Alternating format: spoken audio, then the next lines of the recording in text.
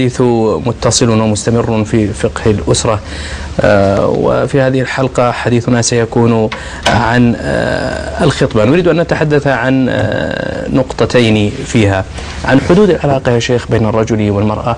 أولا يا شيخ بمجرد أن يتقدم لها لرؤيتها ولتراه هي أيضا هي.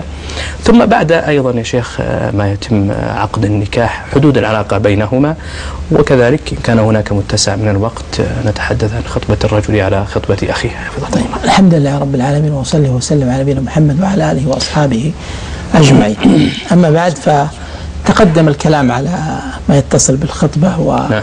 آه، ما يتصل برؤية الرجل المخطوبة آه، ورؤية المخطوبة لمن يتقدم لخطبتها وفصلنا في ذلك نعم. تفصيلا أظن أن إن شاء الله تعالى آه، فيه كفاية نعم. وخلاصة الكلام أنه يسن للرجل إذا رغب في نكاح امرأة أن يراها نعم. وكذلك هي أن تراه ولذلك قال النبي صلى الله عليه وسلم اذهب فانظر إليها فإنه أحرى أن يؤدم بينكما فالرؤيا مشتركة لكن نعم. أذن للرجل وطلب منه لأن الرجل هو الراغب أولا وثانيا أن المرأة تتمكن من رؤية الرجل آه، حتى في حال غير الخطبة بخلاف الرجل فإن رؤيته للمرأة لا سيما ما كان من زينتها مخفيا آه، لا يتمكن من رؤيته إلا في حال رغبته في الخطبة وتكلمنا أيضا عن حدود ما تظهره المرأة المخطوبة لخطيبها إذا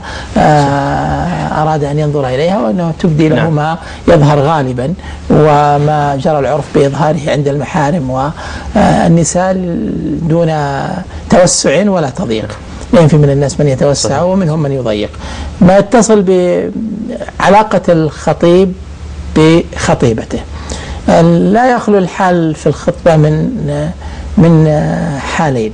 إما أن يرغب أحدهما في الآخر فعند ذلك تثبت الخطبة ويكون بينهما علاقة خطوبة. وإما أن لا يرغب أو لا ترغب آه، ففي هذه الحال آه، ينفصل الارتباط وليس هناك بينهما موجب لأي نوع من أنواع الالتقاء أو نوع من أنواع التواصل. نعم. فيما يتصل بصلة الخطيب بمخطوبته. آه، هناك اختلاف في الأعراف. والمجتمعات نعم.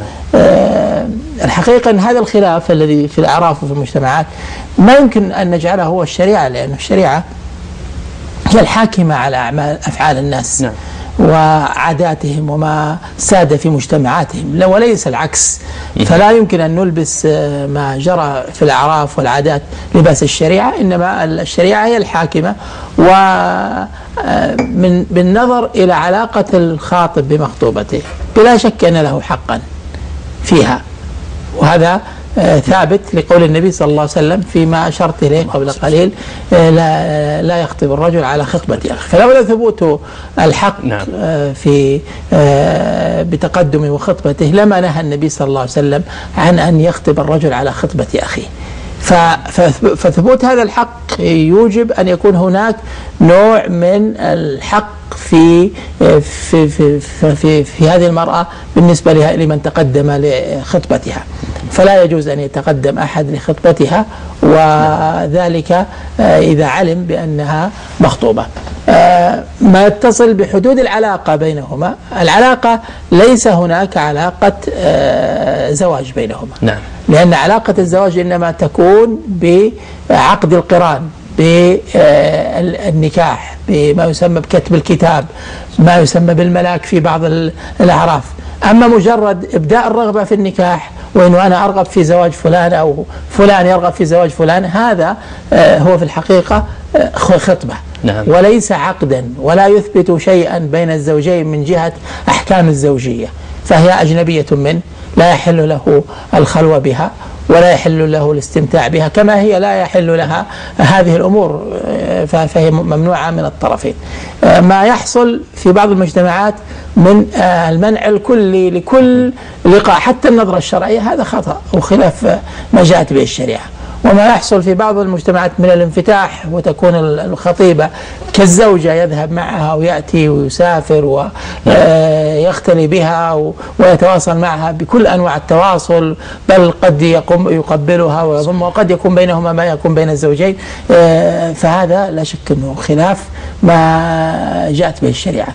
فليس هذا الانغلاق ولا ذاك آه، الانفتاح هو الشريعة. الشريعة نعم. وسط بين هذا وذاك. أي علاقة بين آه، طرفين لكن هذه العلاقة ليست علاقة زوجية فلا يحل لها فلا يحل له ولا يحل لها ما يحل للرجل من امرأته وما يحل للمرأة من زوجها بل هما أجنبيان. ما ما يتعلق بتكرار النظرة. تكرار النظرة آه، تقدم أنه يجوز نعم. أن يكرر النظرة إليها مرة وثانية وثالثة إلى أن يكون ما تطمئن إليه آه، نفسه فيما يتعلق بالرغبة فيها. ما يتعلق بالمحادثة هل يمكن أن يحادث المرأة خطيبته؟ أيضا مسألة المخاطبة كمسألة اللقاء. فمن المجتمعات ما هو مفتوح ومنه ما هو مغلق والوسط هو الشرع نعم. يجوز الرجل أن يكلم مخطوبته لكن بحدود وضوابط كلام الأجنبي من الأجنبية. آه، وذلك بأن يكون الكلام غير فاحش ولا مفض إلى فتنة ولا موقع في مزلة.